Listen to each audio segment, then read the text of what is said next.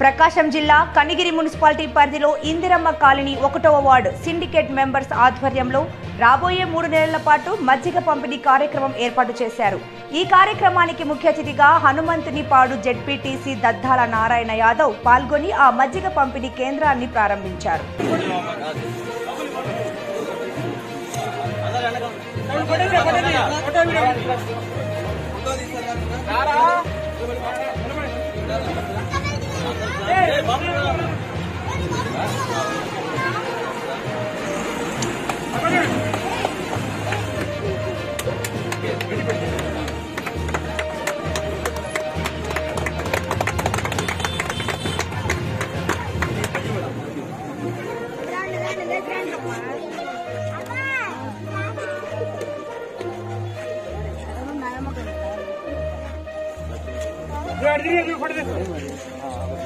Terima kasih.